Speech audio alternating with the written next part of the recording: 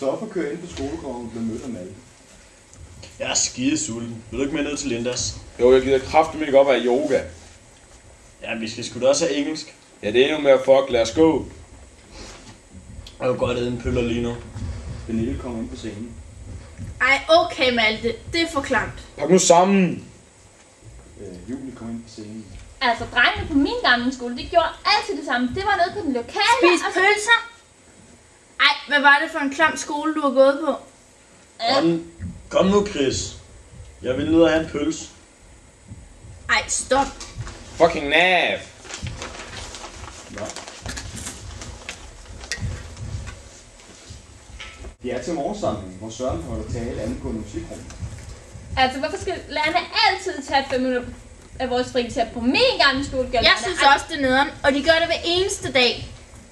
Okay, hvis de gør det en gang imellem. Men de gør det sgu hver eneste dag. Ja, det er så fucked up. Nu er de vist heldigvis færdige for i dag. Achoo!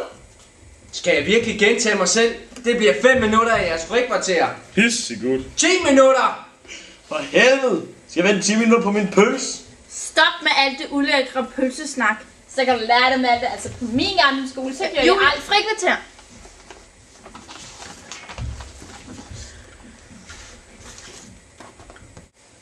Lindes skriver. Åh, oh, det var godt. Nu skal vi op til samfundsdag.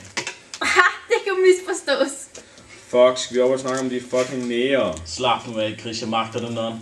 Nej, de er sort. Ah, nære.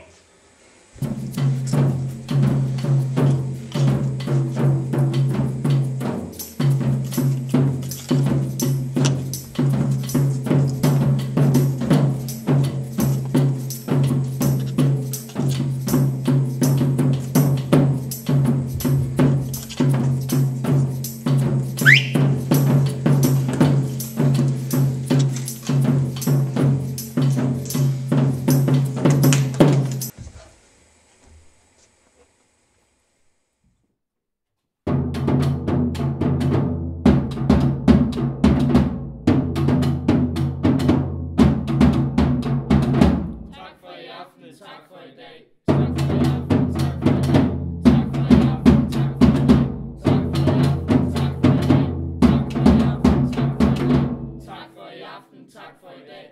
Tak for i dag.